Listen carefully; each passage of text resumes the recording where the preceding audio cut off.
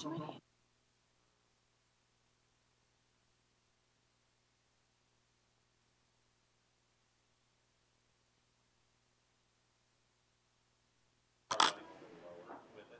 Do we own it?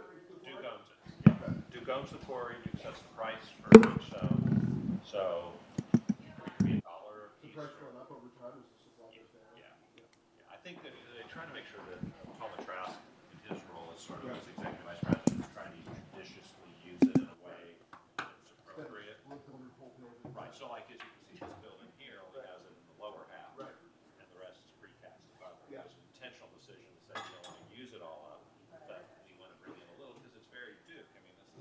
Yeah.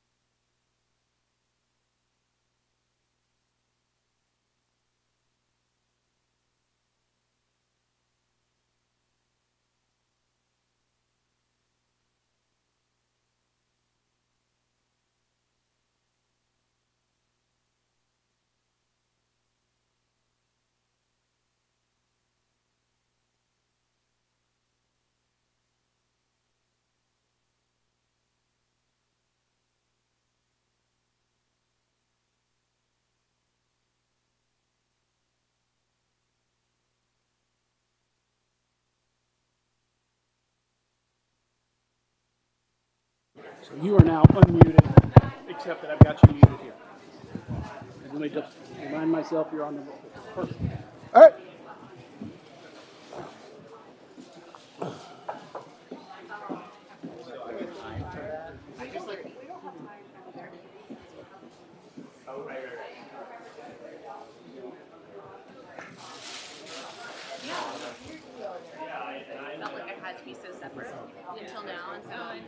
felt like to see you. What are you up to? I'm uh, in Atlanta doing commercial lending and also some real estate work. They call it dirt work. I guess they For what? uh, for a boutique firm called Kitchens Kelley Gaines. Okay. It's a smaller firm. Dirt.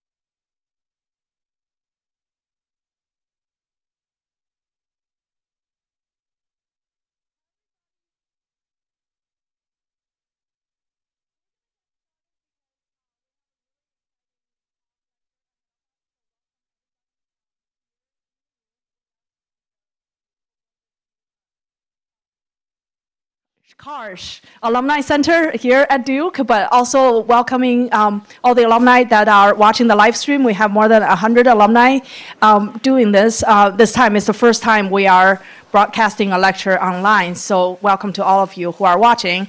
Um, so this is part of the professor series to um, basically go, um, for the, there are um, certain Duke Law professors who are going around the country um, talking about their really interesting work and um, connecting with alumni. So Professor Buell just came back from Charlotte, um, but for today we are uh, live in Durham on Friday afternoon live.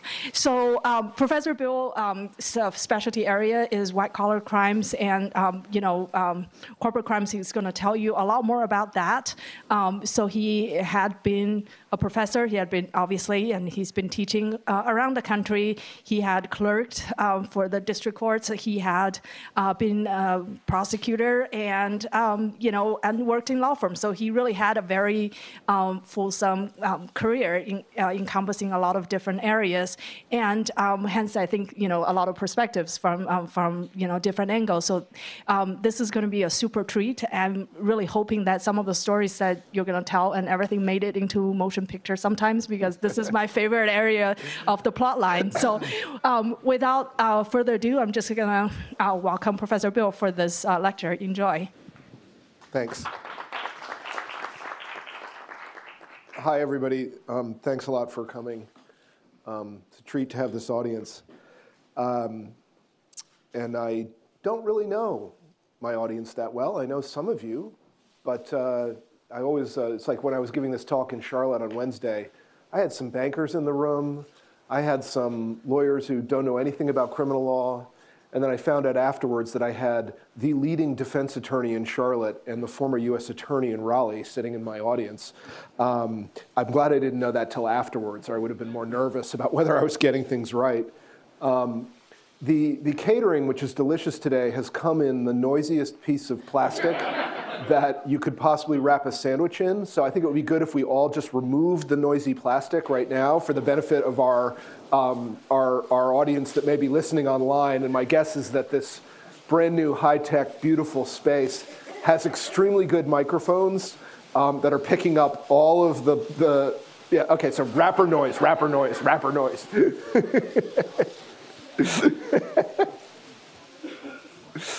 All right, so I'm going to talk to you today about fraud.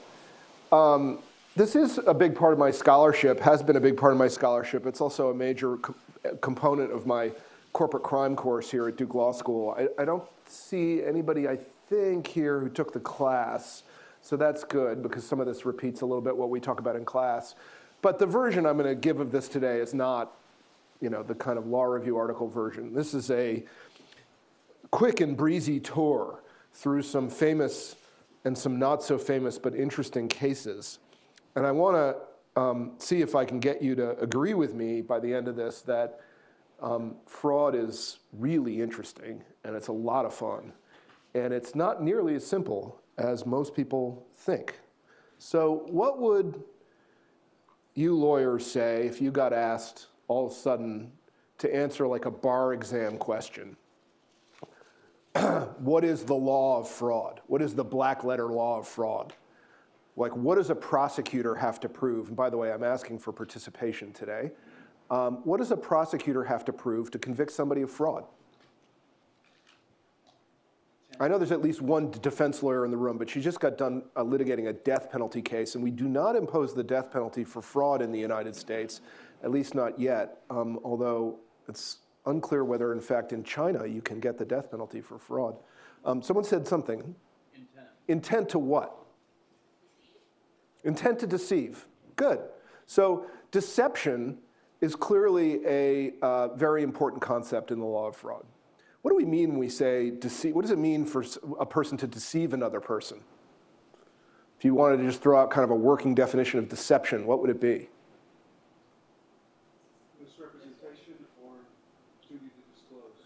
The, okay, and, and, but what do you need for there to be deception?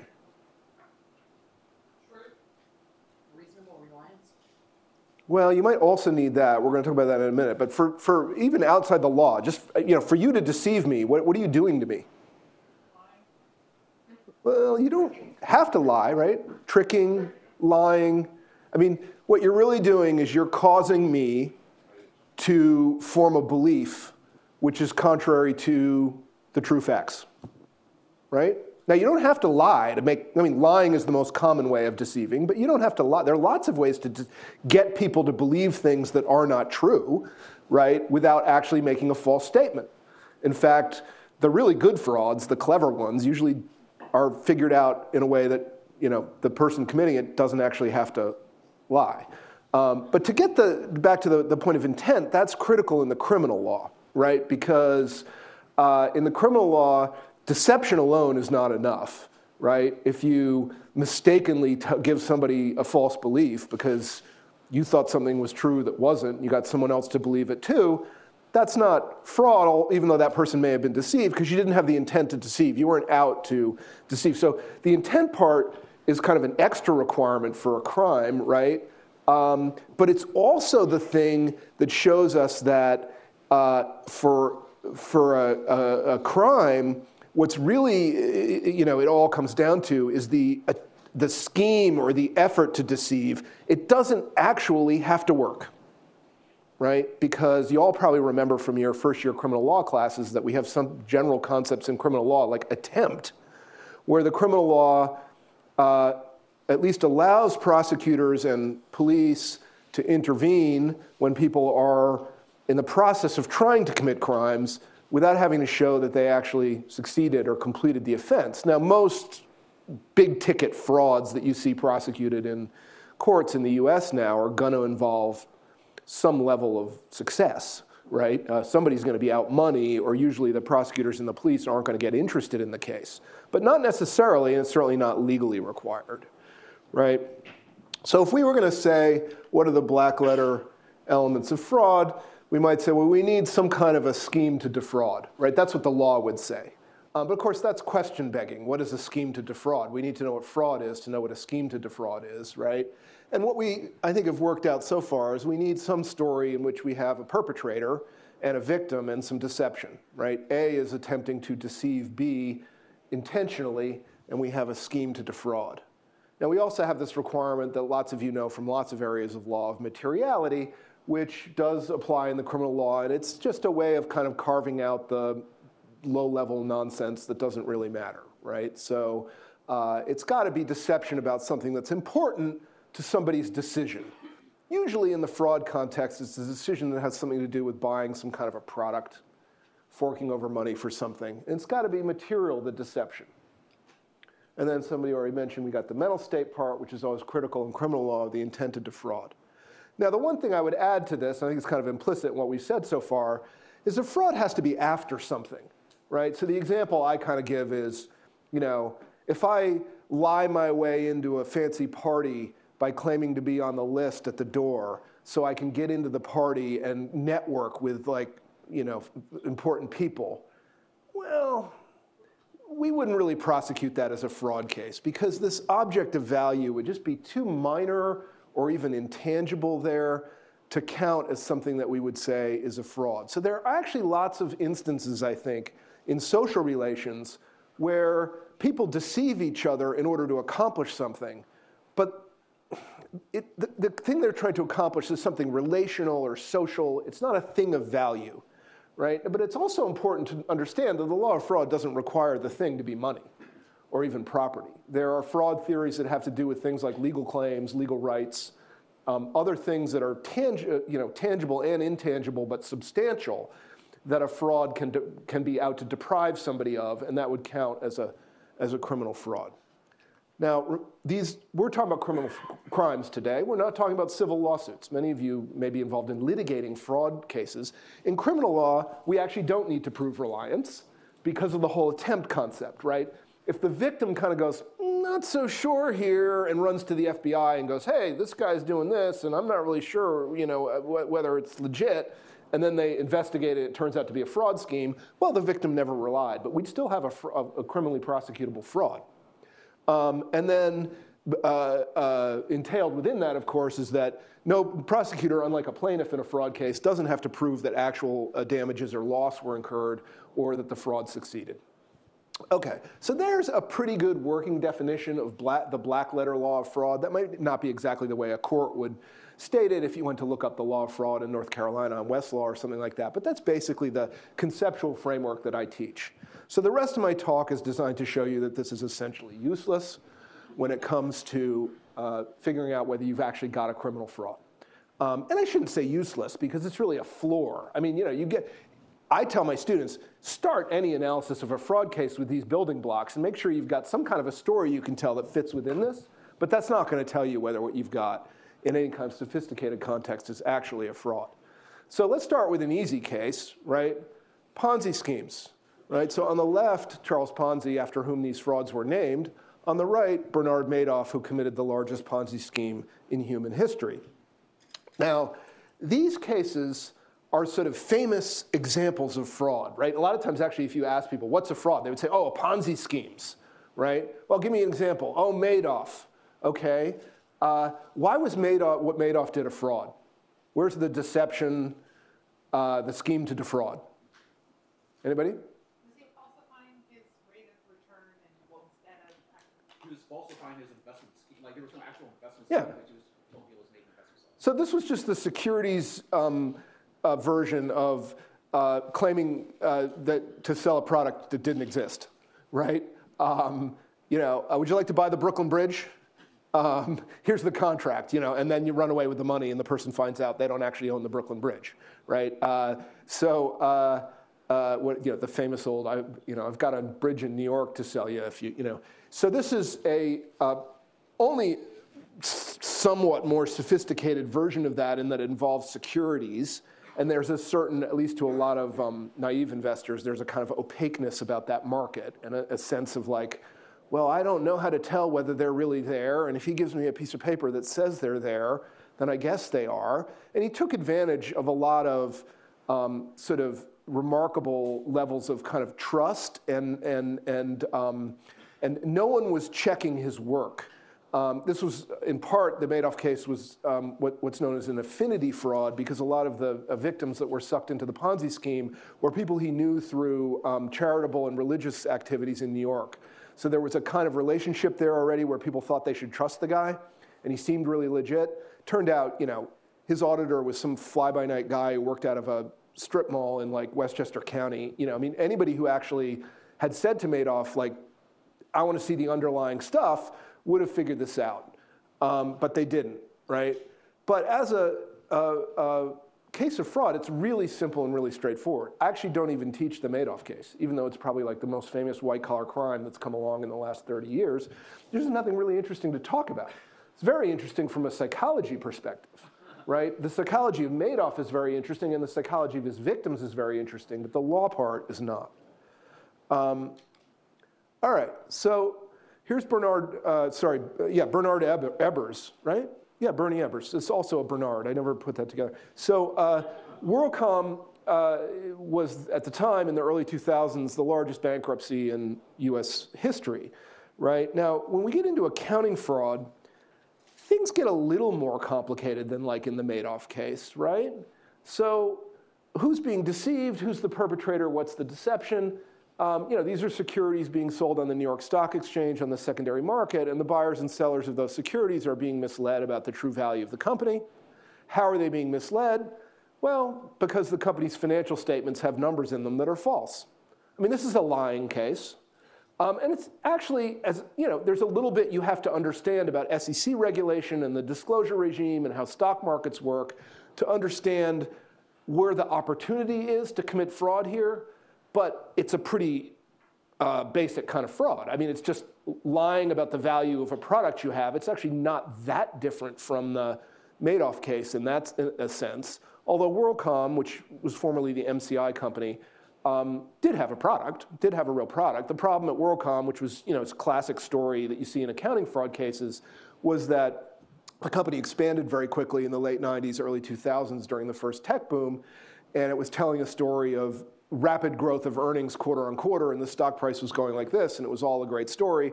And then uh, the market kind of turned against them. There was, you know, the tech, the first tech bubble kind of deflated, and they didn't have the revenues anymore that they, you know, expected to continue with. And instead of saying, you know, not so good, things have turned against us and taking a hit to the stock price, they started figuring out how to mess around with their accounting to keep the story going.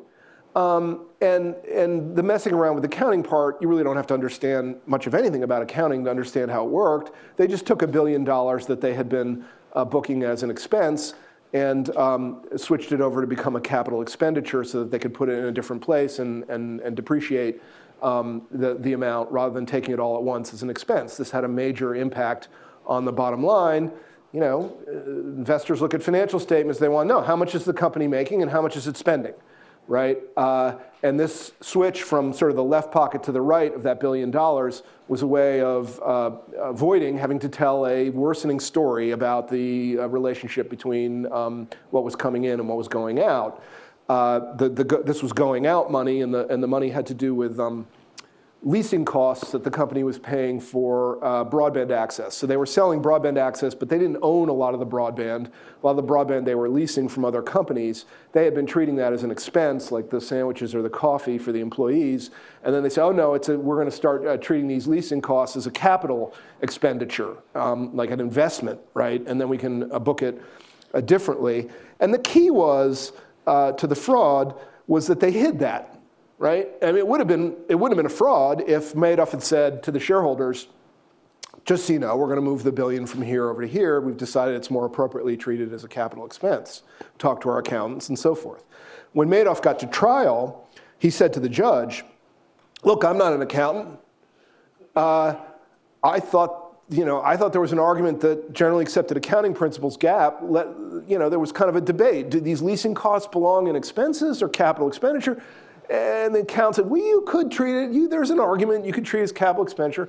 And so uh, I should have gotten a jury instruction that said, if you believe uh, that um, GAAP allowed this, you must acquit because he couldn't have had the intent to defraud. And the Second Circuit, when it affirmed his conviction, said, no, doesn't work that way. Uh, jury certainly can be told that his belief in good faith about what GAAP allowed is relevant to whether he had the intent to commit fraud. But the ultimate issue is uh, was he deceiving the shareholders and did he know it? And was that his intent? Um, and if he's uh, exploiting a, a, a, nuance in GAAP to kind of move the money from A to B and hide the fact that he's moving it from A to B, he can still have the intent to defraud, even if he thinks I've got an argument under GAAP. So, okay, a little bit more complicated because you have to talk a little bit about accounting, but not in a way that, I mean, I can't talk in a sophisticated way about accounting, and I think I was able to explain that. So, all right, well, now we get to these guys, right? So this is calculus to WorldCom's algebra. Um, I would take me the rest of the day to explain to you how Enron exploited the accounting rules to uh, ultimately create a misleading picture of uh, the company's finances.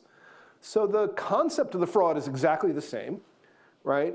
It's how do we deceive buyers and sellers in the secondary market about the true value of the company so that our stock stays up. And by the way, in both the Enron case and the WorldCom case, uh, the CEOs, Ebbers and in this case Kenneth Lay, their own holdings of the company stock were 100% leveraged. So they had taken all of their Enron or WorldCom stock and they had used it to, uh, on the advice of their financial advisors, to take out um, margin loans from banks, which they then used the proceeds of to invest in uh, other assets, uh, illiquid assets, things like paint, paintings, boats, houses, stuff like that. Um, this was considered to be a way to diversify without actually dumping your company stock and fear that would be if I dump all my Enron or WorldCom stock, it's going to send a signal to the market that I don't believe in the company. Um, okay, well then just um, leverage it. Don't sell it, leverage it. Well, the problem with that is as soon as the stock price starts going down, if you're 100% leveraged as they both were, now you start getting margin calls from the banks and you have a personal, you're not just trying to keep the stock price up because it looks good for you and looks good for the company. You're trying to keep the stock price up because you're in trouble. Um, you know, your, your, your, your loans are being called in.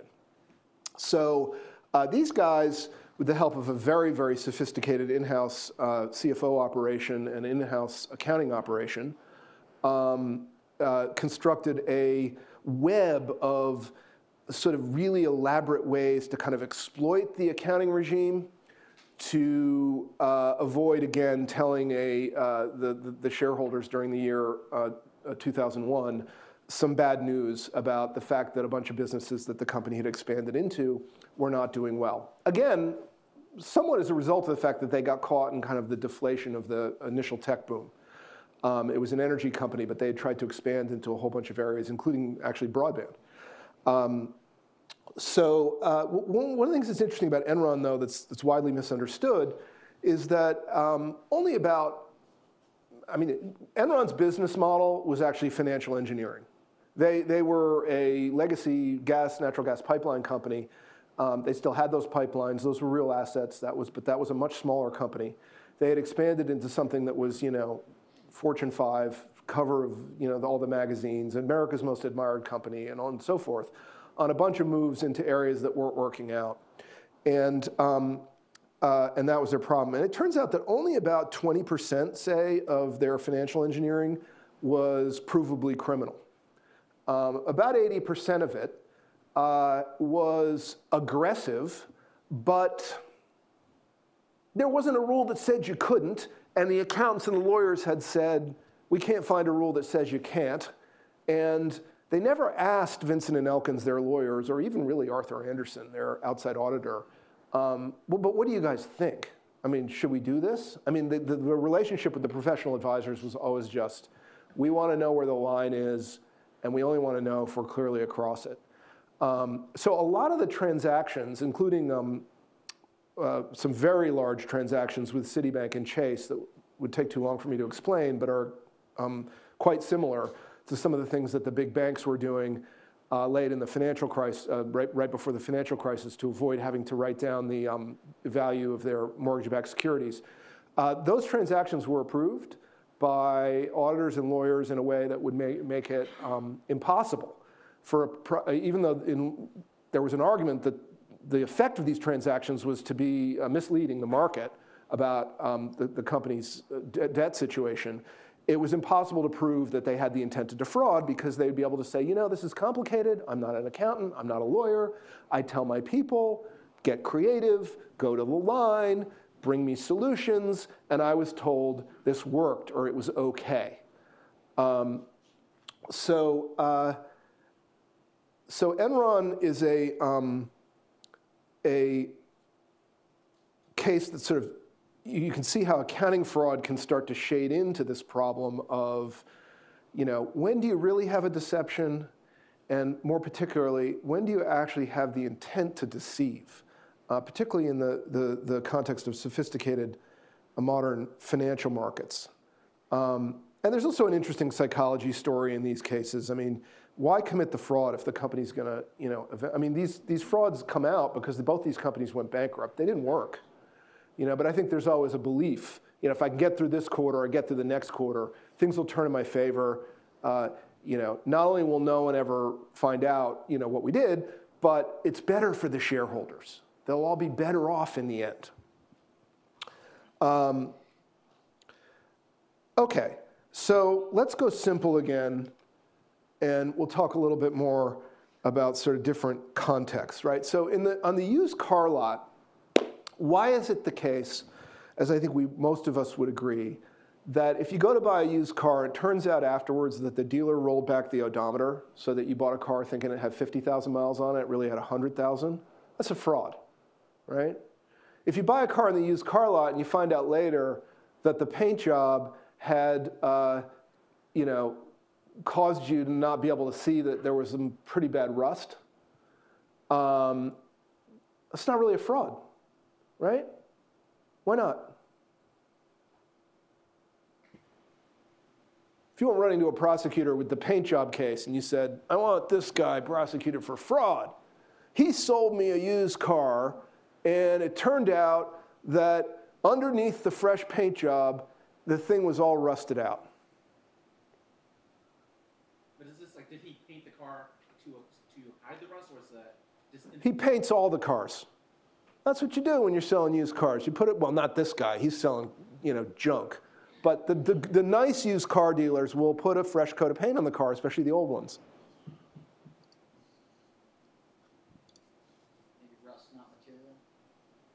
Oh, I don't know about that. I mean, I, I certainly would, you know, if, if I bought a car thinking it wasn't all rusted out, I'd be, I'd feel like if I knew the, that it had been rusty, I wouldn't have bought it. That's the definition of materiality. Yeah.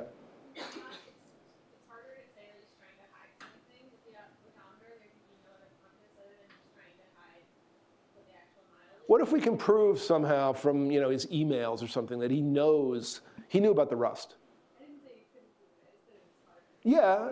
So, but I'm going to say, I'm going to say, let's assume. I think even if we say we can prove it, we still go. Oh, I'm not sure it's a fraud. Yeah. Maybe he never represented that the car is not rusty, but the odometer is a representation, it's not really not Okay. So there might be an aspect to the odometer case where there actually is a false statement, and the rust case is more of a didn't tell case, right? Now you said earlier, you know, you need a false statement or you need some disclosure when there's a duty to disclose, right? So how do we figure out whether there's a duty to disclose? You go, oh, I love that word duty. I remember that from law school and from bar exams and stuff. You look it up. Well, not really here. I mean, you got to, what's, how do we decide whether there's a duty? Relationship of trust, Yeah. client, it's typical type. Yeah. Is this a relationship of trust? No. No. Definitely not. Definitely not. I mean, the used car lot is the classic caveat emptor environment, right? But why do we say that? Right? Because we just do. I mean, that, that's just, that's this market. That has kind of always been this market. Everybody knows that's this market, or at least you're expected to know that that's this market if you want to be a functioning market participant in modern American capitalist society. This market, a little different. These guys have a fiduciary duty to their shareholders. Now, we can just parrot the words fiduciary duty, and that sounds fancy and sounds like it solves the problem. But we need to understand that that's the, that's the, the rule that results from the reasoning. It's not the reasoning itself, right? The reasoning itself is that these people should have a duty because of what we've decided about the nature of the market for selling securities and the relationship between the buyer and the seller. Now, there's an information disparity between buyer and seller here that's pretty substantial, and that may be part of why we, we say these guys have a kind of duty of disclosure. A lot of the Enron case, you know, wasn't just lies. It was, you know, not disclosing, right? I mean, the WorldCom case is kind of a non-disclosure case, right? The real problem there is that he didn't tell that he had switched the treatment of that billion dollars over, right? So uh, that's because, as a matter of, of market custom and social norms, we have decided that this is a market in which a certain kind of disclosure is required, and this is a market in which, you know, when you got a car you don't like, smallest violin in the world is playing for you, you know, uh, you ought to know how to buy used cars. Whereas this market is, you know, outrage all over the front page of the Wall Street Journal and the New York Times and every other paper in this country. You know, people practically rioting in the streets in Houston, Texas, over these employees who all, you know, got hurt so badly, and the little old lady with her, you know, investment fund and stuff. And, we, and by the way, nobody said after Enron, uh, except some academics, um, you know what? Those people really ought to have been diversified. If you're wiped out because of the Enron bankruptcy, it's because you put all your money in Enron. That was not smart. Yeah, but the, the, the CEO kept telling the employees, you know, I have, I'm fully invested in Enron. Totally margined too, but you know, didn't sell that part. But I'm fully invested in Enron. I own all this Enron stock. I'm buying more Enron stock, and you should too. You should put your um, retirement fund in Enron stock. And then, of course, they were outraged when it turned out later that that was a really bad decision, which they were not required uh, to do. All right, suppose there's a little old lady. She goes to church every Sunday. At church one Sunday, she meets a gentleman. They're chatting, they hit it off. Uh, she asks him over uh, for a cup of tea after church to continue the chat. And while they're sitting in her living room, he notices this antique chest of drawers sitting over on the side of the room. And he says, Oh, that's a lovely piece. And she says, Oh, I can't stand that thing. I don't use it anymore. I'm bumping it into to it all the time. Uh, I'd love uh, to get it out of here. And he says, Oh, really? Oh, I'd love to have it. I'll take it off your hands for $100 and I'll move it for you. And she says, Great. They do the deal. Turns out he's an antique dealer. The next day, he sells it on the antique market for $10,000. When he looked at it, he thought it was worth about 10. Fraud? Why isn't this a fraud? Why not? Okay, so the first thing we have to say is he didn't lie, right? He didn't lie. Um, you know, you could try to construct a really lawyery argument about like, well, but when he says 100, I'll give you 100 bucks, that's a representation that he thinks it's worth 100, but that, the law of fraud doesn't do that. I mean, just because you name a price, you know, and you think your price is, is not what the thing's really worth, you're not lying. That's negotiation, right? And we'll come back to negotiation in a minute. Um, so he doesn't lie. So the issue has to be, does he have to tell her? Does he have to tell her what? He has superior knowledge to her about the value. Right. Either, either that he is an expert or that he thinks it's worth $10,000 or both. He doesn't tell her those things. For, uh, you know, she has been deceived, I think. Um, the way the whole thing goes down probably makes her think it's worth about 100 bucks, right?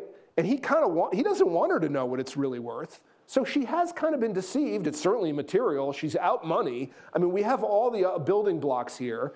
He's, he's got a clear objective to, to, to make money off the deception. It looks like it fills all the elements of fraud, but it's not a fraud because what is the relationship here? You know, it's not quite this, but it's nowhere near that.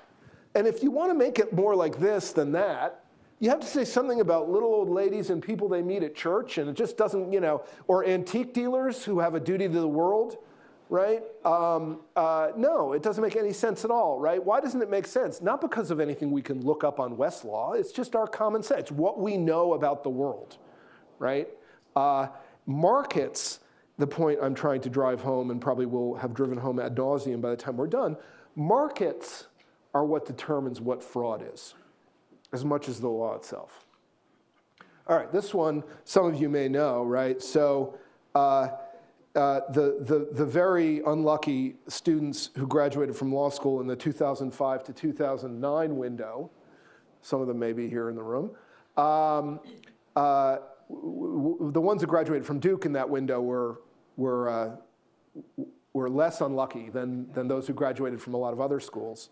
Um, and uh, there are a couple of examples of this kind of case, but the one I'm going to talk about is about students who enrolled at New York Law School, not to be confused with NYU, my alma mater, um, in this window, uh, who ended up suing New York Law School when their employment prospects were, you know, not great um, afterwards, saying that they had been defrauded into attending New York Law School by New York Law School's provision of misleading employment data.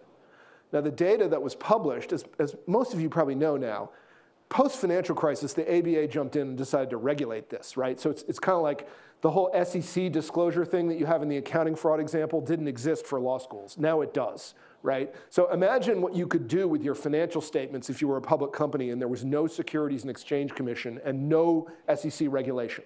It was just, you know, you get to tell the market whatever you want about your business.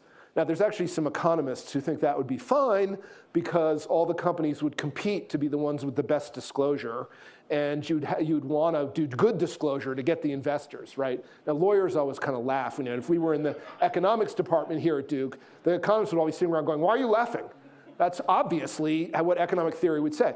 Um, so, so, uh, so um, no such regulation in the law school space, right? So, so what should we do? Well, New York Law School um, they, you know, uh, their, their percentage employed after graduation include all these part-time positions and temporary positions and research assistants who'd been hired by professors at the law school so that they could boost the employment statistic. And none of that was disclosed, right? They just said, you know, 92% employed, right, or whatever. Um, and then there was some monkeying around with kind of mean salary one year after graduation. They didn't include the way they calculated that, they didn't disclose the way they calculated it, and they, they sort of included some stuff and not other stuff, right?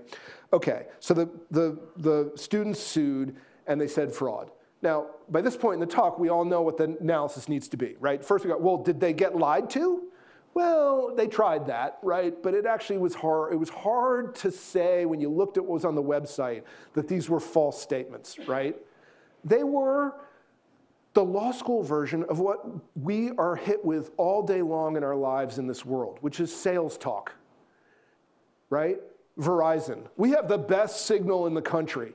Uh, we have the most, you know, they put the map up. We have the most areas of coverage, you know, of any cell company, um, et cetera, et cetera. Um, so uh, we know that we're not supposed to just take that stuff at face value in an arm's length caveat emptor type sales situation. And the question here became, is this such a situation or is it something different? What do you think the court said? They win or lose? They lost? Yeah, they lost. Um, why did they lose?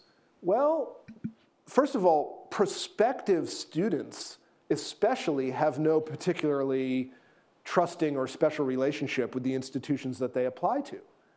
Now, you know, we at Duke would never want to say that to our applicants, right? Um, because we're trying to build that trust relationship in part as a way to both get people to want to come to Duke and apply to Duke, but also to start our relationship off on the right foot, you know, if they do come to Duke.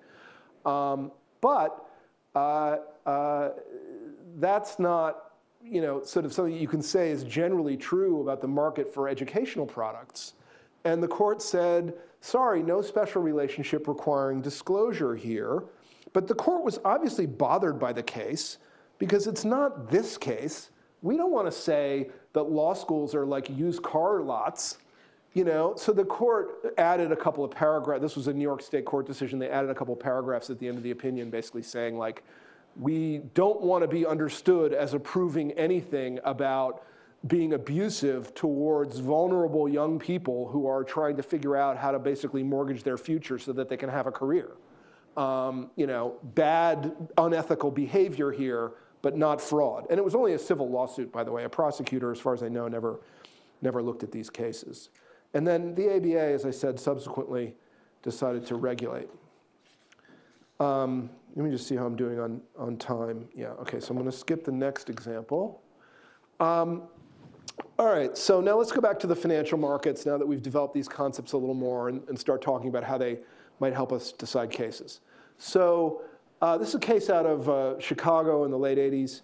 Uh, at the time, the Commodities Futures Exchange in Chicago um, uh, had uh, no rule against insider trading.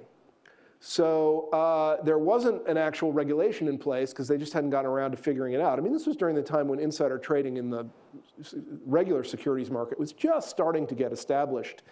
The law of it was just starting to get established by the courts. The first prosecutions were happening in New York. The Commodities Exchange had no, no rule against insider trading. These guys were commodities brokers, and they had a client who was, you know, they were, was putting together a group of people to take a very large um, futures position in, in, the silver market. And uh, they decided that since the, they were going to do this deal for the client and they knew it would move the price, uh, it was a big enough deal to move the price of silver, that they would take some silver positions themselves in advance of the client's deal. And they were prosecuted for defrauding the client. Now, they didn't lie to the client. They just didn't tell the client that they were doing this, and there was no rule that said they couldn't. So uh, the federal prosecutors find out about this, and they prosecute, convict, goes up to the Seventh Circuit. Richard Posner gets the case. And Posner says, well, this is clearly a fraud because, why? What do you think Posner said? Why do you think Posner said this was a fraud? Violated the client agreement. Yes. Standing of confidentiality that do not misuse their information. Now, now, how does Posner know this? Well, because he's Posner, he knows everything, right? So he just writes this opinion that basically says, look, let me tell you, and one of the reasons I assigned this uh, case in class is because it has this wonderful, it's called United States versus Dial, look it up. Posner's such a great writer. He, he's got this wonderful sort of two or three pages at the beginning of the uh, opinion in which he says, you know, hello folks, we're the Seventh Circuit, we're gonna explain this case to you now, but in order to take up the legal issue of whether this is fraud, you need to understand how futures trading works and he writes a two or three page uh, summary of how this market works, which is one of the best introductions I've ever read to the concept of derivatives. Everybody needs to understand derivatives in our world now. You must, right? Uh, we all should have known more about derivatives before the financial crisis. Post financial crisis, everyone has to understand how, what derivatives are. In a basic model like commodities markets, as opposed to mortgage backed securities, it's pretty simple. And Posner does a phenomenal job of explaining this, right? So he explains the whole market as a way of explaining what these guys were out to get. And then also to get to the point where he can tell a story and say, okay, so this is the relationship between the broker and the client. And he summarizes the, the relationship between the broker and the client by saying the client has bought candor. Right?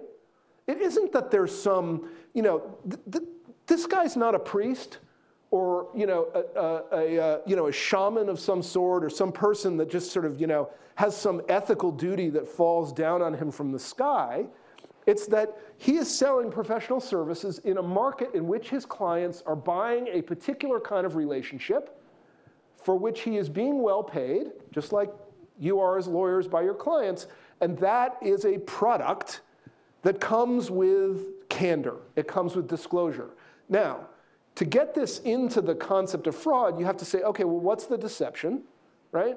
It's not a lie, it's a non disclosure. How are the clients deceived, right? It's not enough to, I don't think, for fraud to just say, well, fraud is not telling people stuff you're supposed to tell them. Um, because that might be something that professional regulation would, would handle, right? There's got to be a deception. The concept of the deception here is the clients are doing business with this guy based on the expectation that he will not trade ahead. It's not this guy, that's Charlie Sheen, but uh, you know, that he will not trade ahead of them in a way that is contrary to their interests. Because in theory, the brokers jumping in the market ahead of the clients could move the price and cut down on the profit that the clients are going to get when they put their thing in. So they're assuming that's not happening. If it is happening and they're not being told, they are being deceived by that non disclosure. Because if they knew, they'd fire the guy. All right, so here comes a case much more recent uh, from the New York Stock Exchange. This is not Mr. Finnerty, who is the defendant, but he's one of these guys. The blue coat guys on the New York Stock Exchange, they're called specialists. They're market makers. They stand on the, on the floor of the exchange and they match buy, buy and sell orders. And there are each of these specialist firms are assigned through a process I don't know how it works certain securities. So in the Finnerty case, I think they were um, they were the specialist for uh, General Electric stock and a couple of other really you know blue chip kind of stocks, and they engaged in something called interpositioning, which is basically you know you got a seller. Seller says I'll um, I'll I'll sell at 50, and uh, you're looking for a buyer who will buy at that price and you don't have one. So then the specialist firm says, we'll buy it at 50 and hold it till we find the buyer. And then by the time they find a buyer, it's actually 51, and the specialist firm got a buck per share. Okay, now here's the interesting thing. The New York Stock Exchange rules both prohibit and allow this, right? They prohibit it if there's a buyer standing right there. You're not allowed to go, um, don't see any buyers, but we'll hold it for you. If there's a buyer right there, you're just the market maker and you got to get buyer and seller together and do the deal. But if there's no buyer there, we want market liquidity, says the New York Stock Exchange. We want sellers to be able to sell. So specialist firms are allowed to buy and hold until they find a buyer. They're allowed to interposition. Well, the government was able to prove, through mechanisms I don't fully understand, that Mr. Finnerty was doing lots of interpositioning when there were buyers right there. Got prosecuted for fraud. Now, similar theory to this Dial case, right? It's like you're stepping in, eh, you know, in between the client and the client's deal to take a piece. But in this case, the Second Circuit said no fraud. Now, why is this not a fraud and Dial is a fraud?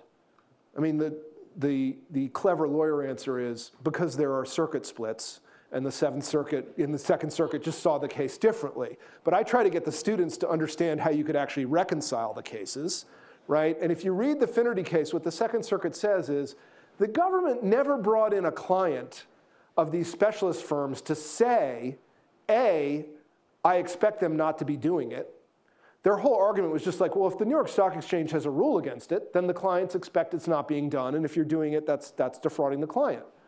Well, the court was sort of like, it would have been nice to have at least one person come in and say, yeah, that's what we expect. And if I knew these guys were interpositioning when they're not allowed to, I wouldn't deal with that firm anymore. And they had no such evidence, right? The other thing is, this is not a broker client relationship.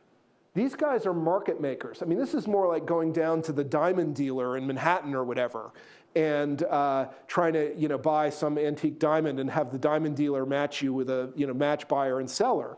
You don't expect to have, you know, and people want to say, oh, they're, but they're specialists on the New York Stock Exchange. They work, they're regulated by NYSE rules, so they have all these special duties. Okay, but wait a minute, let's talk about the market. What is the market? What is the function of these individuals in the market? And it turns out they're not really brokers. They don't have that kind of relationship. The government was at least not able to prove that, in Richard Posner's words, the individuals dealing with these specialist firms expect that they have bought candor. All right, here's one that will interest you a lot. So this is uh, early in the financial crisis. There's a bank in Wisconsin called Anchor Bank that, like a lot of banks at that time, uh, was having liquidity issues and was worried about its, uh, its um, uh, viability going forward. So this guy, David Weimert, was a vice president at that bank, and they told him, they said, hey, Weimert, we have this uh, commercial real estate development in Texas in which we own a very large uh, portion of the interest. Um, let's see if we can get out of that for some cash. Go sell the, the real estate development in Texas. So Weimert goes down to Texas, he starts looking for buyers, and he finds a buyer. And Weimert, this is some, uh, you know, was a, this deal was Weimert's baby. He'd been involved in this thing all along. He knew a lot about it. He was the guy at the bank who knew the most about this, this investment. He finds a buyer. At some point in the discussions with the buyer, he says to the buyer, um, you know, uh, this is going to go a lot better in the future if you keep me involved. Um, how about I stay involved? And it's unclear sort of how that conversation really got started and how it developed. But uh, at some point, Weimert goes back to the board at Anchor Bank and he says, I got a buyer, it's a great price, but they have one condition, one very important condition. They want me to stay involved in the project post sale, um, and they're willing to pay a 4% commission to me uh, for my personal services going forward, 4% of the deal. And the board goes, hmm, well, we sure want to sell this thing. Uh, lawyers, what, uh, what do you think? Well, there's a conflict of interest here, but you can waive it um, if you want to to get the deal done. All right, uh, all in favor of waiving the conflict of interest? I Waive the conflict. The deal goes forward. Somehow, you know, somebody at the bank must have found out more about the fact that Weimert had sort of, it was kind of his idea in the first place. Um, and they got mad and took it to the prosecutors, and they prosecuted him, I think, in, uh, in the U.S. Attorney's Office somewhere in Wisconsin. It ends up, another case, end up in the Seventh Circuit. Uh, now, the theory of the case was that Weimert had defrauded his, his employer, the board, the bank, right, uh, out of that 4% commission. Um, the Seventh Circuit said, no, it's not a crime. Now, he didn't lie, but he also didn't tell the board a lot about what went on. And he's the darn vice president of the bank talking to his board of directors. So we wouldn't probably have too hard of a time telling a story there about there being some kind of disclosure obligation. Here's what the court said about why this wasn't a fraud it's not a fraud to lie in negotiations. Weimert, even if he was lying about the extent to which the buyer uh, was going to walk away without his involvement in the deal. It was just negotiating. He was moving between buyer and seller as kind of the middleman and making representations about people's walkaway positions. We lie about our walkaway positions in, in negotiations all the time. Now, we don't call it lying, we call it negotiating. But you know, my guess is over at the law school, we're teaching the students how to do this in the negotiation class, right? I won't take less than $10,000, and then you know your walkaway number is eight, right? I mean, that's actually a false statement. It's designed to deceive. Um, you're trying to gain something from the deception. It seems to fit all the black letter elements of fraud, but we all go, it's not a fraud, it's negotiation. Now, the, this, I can't remember who the judge was in this case, but he basically said, look, here's the analogy. If Weimert was going to the, uh, was up for renewal um, and he went to the compensation committee of his board and he said, if you don't give me you know, a, a, at least a 20% raise, I'm going over to you know, anchor bank's competitor. And uh, he wasn't really prepared to walk away. It's just like he was negotiating with the bank over his own comp. But he wasn't, Yeah, he was negotiating for the bank, yeah, yeah. right? Like, he wasn't negotiating with the bank. Right. It's like if he had told the buyer, look, the bank wants me involved. Then they could have said, well, even if that was false, it was a negotiating position or something, right? But no, there's a dissent in the case, and the dissent says, whoa, whoa, whoa, wait a minute. You know, it's not like negotiating his own comp. I actually think Weimert's wrongly decided, but it's really interesting about the point that lying in negotiations is not necessarily fraud, right? And that was criminal or civil? Criminal. Yeah, criminal. So that's why, right, it's criminal. You're not gonna go to jail because you're negotiating versus a civil claim where I'm guessing you could get reliance and damages and all that. Well, but if there's no duty of disclosure in the context, I mean, in theory, that should present a problem for the civil claim as well. It wasn't about Weimert's intent. It was about whether there actually is deception when you uh, make stuff up in a negotiation. Um, okay, this guy, uh, Jesse Litvak, was selling uh, mortgage-backed securities post-financial crisis. This is the how do we get rid of the distressed MBS. Um, he was trading for a company called Jefferies Securities. Uh, and the problem in the distressed MBS market post-crisis, as everybody may remember, because this fed into the whole sort of TARP public policy discussion around this stuff, was how do we figure out what these things are worth? I mean, this was the ultimate example of a market that was kind of making up the price as it went along. They're, the trades are they're trying to figure out. So Litvak told a whole bunch of lies to counterparties in the distressed MBS market. Um, he would say uh, that he had bought the, the securities for a price that was higher than the price he'd actually paid. Um, he would say that he was holding the securities uh, to sell them for a third party when in fact they were on his own book. Um, he would sort of tell lies about his own position with the securities as a way of trying to induce the buyer to think that they were getting a good deal, right? And then he'd sell the securities at whatever price the buyer was willing to pay. Now, this case went up to the Second Circuit twice, and ultimately his conviction was affirmed, but it wasn't an easy case, right? Now, here we don't have to talk about a duty of disclosure because these were lies, right? But his defense was basically look, nobody knew what these things were worth. This is like negotiation. We're all kind of trying to get the buyer to, oh, you know, I paid 35. You got to give me at least 36, you know, when he really paid 34. You know, okay, is that really fraud? Um, now, ultimately, a jury thought so. Prosecutor obviously thought so. Jury thought so. The Second Circuit ultimately thought so. Um, but they reversed twice. I think he had to be tried three times or something. They, they reversed twice for error by the trial court in excluding too much of Litvak's expert testimony uh, of people uh, he wanted to call to say, look, this goes on all over the place in the distressed MBS market.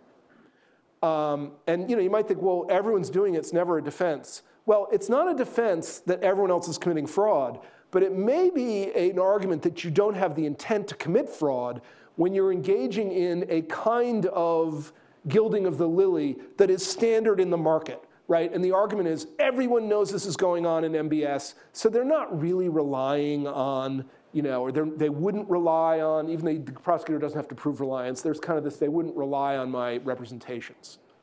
Um, now, we don't have time to talk about a Heartland MBS case. This would be like the Goldman Sachs Abacus deal, a famous uh, MBS case that was uh, enforced by the SEC but not prosecuted criminally. Um, but it has been my argument in several things I've written since the financial crisis that I think the lion's share of the MBS deals during the financial crisis do not lend themselves at all to a good theory of fraud. Because most of the time, these are non disclosure cases. And this is over the counter securities trading. I mean, when Lloyd Blankfein went before Congress and they started yelling at him about, you have clients and you're selling these products to these clients. And meanwhile, you know late in the game that Goldman Sachs is taking a massive short position knowing that the music is about to stop. And you didn't tell the clients that. And you didn't tell the clients that, in fact, you thought it was a bad idea for them to be buying these products. The answer is well, actually, we're kind of like that guy in the over-the-counter MBS market. I mean, they don't want to say that, but it's basically, you know, sophisticated trader of mortgage-backed securities dealing with another sophisticated trader for another large financial institution. And hey, you want to come do due diligence and you want to look at all the underlying mortgages? Come on in. Of course, nobody did, right? Um, again, it's the nature of the market, right? Uh, also, don't have time to talk about LIBOR. LIBOR is a longer story, but a very interesting one. I'm getting ready, I think, to write something about it. I mean, here's a case where we have the, the most smokingest gun evidence I've ever seen in a white collar case. I mean, there are instant messages where guys at these big banks, like um, uh, uh, the Dutch one now, I've forgotten the name of it, but uh, we're, we're writing things like, we're not the biggest crooks in the market, and we can't make LIBOR too false um, you know, written, written down stuff. And this is Tom Hayes, so, uh, Mr. Lord Libor, who worked for UBS. He actually was convicted in the Southwark Crown Court in London and, and, and, and did some time. But a number of these people have um, been acquitted, uh, a number of them uh, acquitted. It turns out to be very actually hard to tell uh, a fraud story in the LIBOR context. Um, so, how do you identify a fraud to wrap up? Uh, well, you know, back to sort of law, you need some conduct, what criminal law calls actus reus, right? Where do we get that from? Well, the story we have to tell about the deceit is very much one based on whatever that particular market is and whatever the expectations are that individuals bring to that market. And we talked about eight or 10 different kinds of markets in the course of this talk, and I think we could tell a different story about every single one of those markets in terms of what people are coming into that market expecting and, and it's the baseline expectations that are going to determine whether a deception has occurred, right? Then, of course, we have mental state or mens rea in the criminal law. You need that too. But here, intent to deceive isn't going to be enough. I mean, the car dealer might be intending to deceive when he paints the car, but he doesn't think he's committing a fraud. You'll see in these cases, a lot of times the court will talk about something called consciousness of wrongdoing. You know, it's like okay, did you mean to deceive the person, but did you also know that that was a wrong kind of deception to be doing? So one of the things that's interesting about that Dial case, the Posner opinion on the Chicago uh, commodities markets, is at the end of the opinion he says, okay, and also the defendants are complaining that you know, there's kind of a lack of fair notice here because there was no rule against this on the, on, the, on the market, and here come federal prosecutors with a fraud statute. How are they supposed to know that this you know, could be treated as a crime? Well, it turns out that they created a fake account on the um, uh, brokerage's computer system to conduct these trades, and then they deleted the account as soon as the trades were done. Making their consciousness of wrongdoing uh, mooting basically any argument of, hey, we didn't know this was going to be treated as a fraud.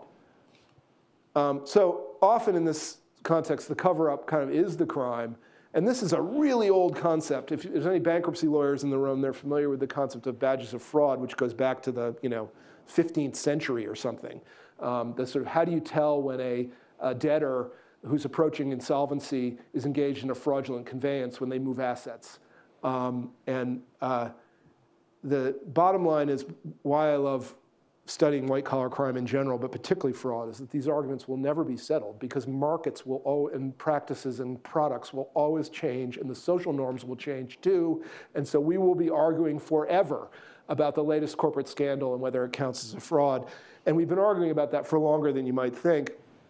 Um, one of the cases that, that, that uh, conceived the idea of badges of fraud was a case from the Elizabethan era called Twins case or Twyne's case. And in that case, the famous Edward Coke, Lord Coke, was the uh, Queen Elizabeth's Attorney General.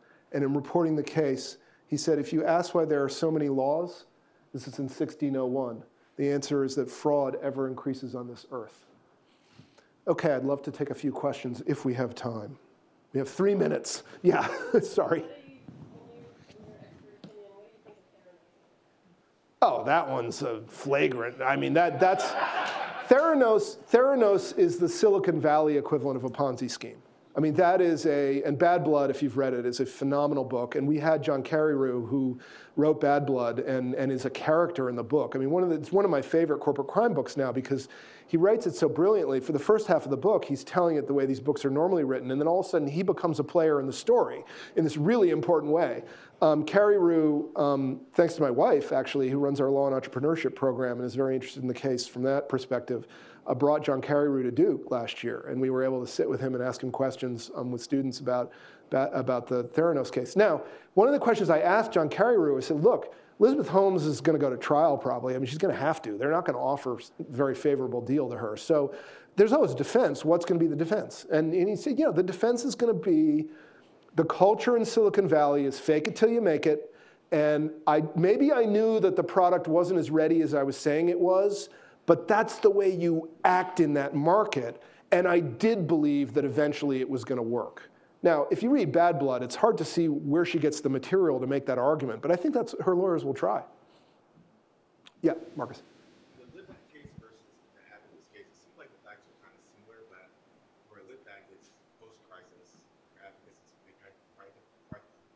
The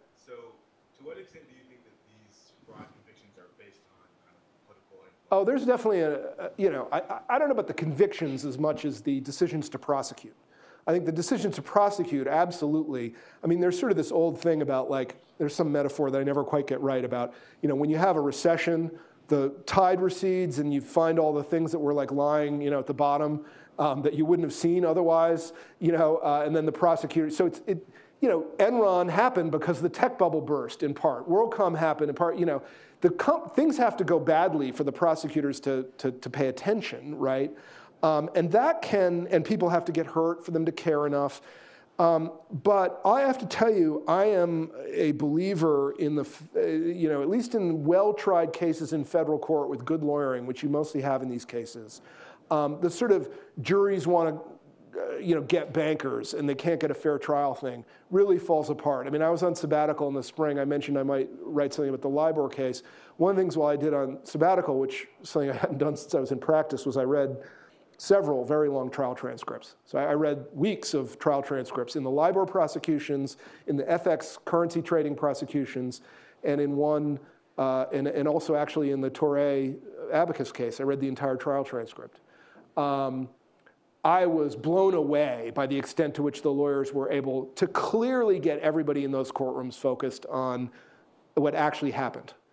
Um, and the, their juries have gone both ways in these cases. And so I think, you know, ultimately, not every time, but most of the time, good lawyering, especially if they slow the train down, which defense lawyers almost always are able to do in these cases, and it goes to trial a couple years later when things have kind of cooled down, and you have a nice long two, three, four week trial where you really immerse these jurors um, in the realities of the market and you show them a human being sitting there the entire time whose life is going to be affected by their decision, um, ultimately, at the end of the day, they're, they're, they're going to do the right thing. And I think prosecutors know that, actually, and that's one of the reasons why, at least good experienced prosecutors like the Southern District of New York, they know that. And that's one of the reasons why Preet Bharara, for example, when he was U.S. Attorney in, in Manhattan, I believe, although he'll probably never say this, um, decided to put his resources into all those insider trading cases in the hedge fund industry and not into going after Lehman Brothers because he was thinking, what kinds of cases are actually going to work for me in the long run with juries?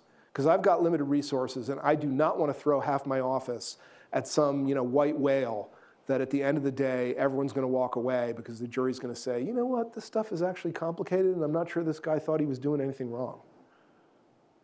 Yeah, I'm, I'm relying on someone else to tell us when we're out of time. Yeah.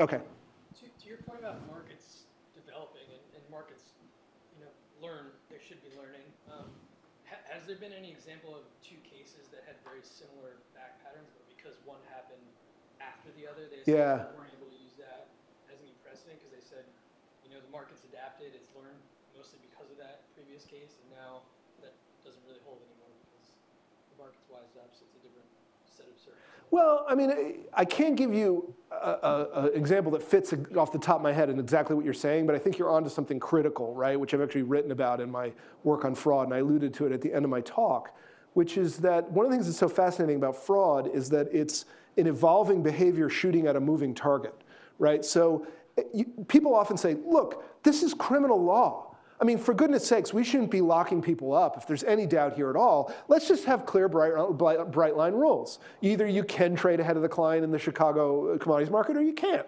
Um, until the rule says you can't, you don't go to prison if you do it. The problem with that is every time you make a new rule, the behavior is just going to change, right? I mean, the definition of fraud basically is that it is uh, creative ways to get people's money uh, doing things that uh, you wouldn't, uh, you know, that if you did them in a more basic way, you know you'd get caught, right? So, I mean, I like to think about fraud as basically just an outgrowth of the development of the law of theft. You know, for a long time, there was no criminal fraud law. We didn't have it in this country until about the 19th century, and you can't find it in England much before that. But what you can find is the development of theft law. First, the idea of just taking people's stuff right from their bodies. Then theft by false pretenses, embezzlement. You know, the law kind of develops as, as economies and markets develop. The law develops these new ideas of like, well, there's these other ways that people are taking each other's stuff, and we need law that, that's flexible enough to deal with that. And ultimately, what we end up with is this idea about fraud and don't commit fraud, which works as kind of an all-purpose, you know, we haven't seen it yet, but we're going to know it when we see it that it fits this. And it's very interesting that in, um, I think, 2006, the Parliament in the United Kingdom overhauled their um, criminal fraud laws. And basically, um, because they'd had a series of corporate scandals that had kind of fallen into the gaps in their criminal law, they had to try to deal with things like accounting fraud through theft statutes, and it just didn't work doctrinally. They adopted a very broad anti fraud law in England the Fraud Act of, I think it's 2006, which looks a whole lot like our Rule 10b-5. You know, it basically says, now that I just spent a semester in London um, on sabbatical, and I can tell you that the, no one over there is going to tell us ever, oh, we got the idea from you guys. We got it from the Americans. But they kind of did, I think. I think that we're probably out of time. Yeah, okay. Thank you very much. Enjoy the rest of your day.